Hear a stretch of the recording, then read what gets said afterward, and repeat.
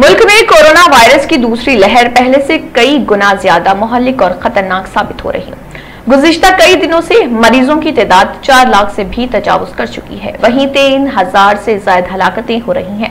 इसी दरमियान आंध्र प्रदेश और तेलंगाना में कोरोना वायरस की नई शक्ल, यानी नई स्ट्रेन की खबरें भी सामने आ रही।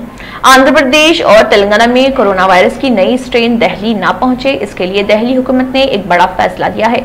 हुकूमत इन दोनों रियासतों से दहली आने वालों के लिए चौदह दिनों का लाजमी क्वारंटाइन का फैसला किया। ताहम अगर उनके पास आरटीपीसीआर की मनफी रिपोर्ट हो तो ये मुद्दत एक हफ़्ते की होगी। क्वारंटाइन की ये मुद्दत सरकारी सहूलत में या अदायगी के ज़रिए भी मुकम्मल की जा सकती है। ताहम मनफी आरटीपीसीआर की इतला फराहम करने वालों को क्वारंटाइन में कुछ राहत मिलेगी।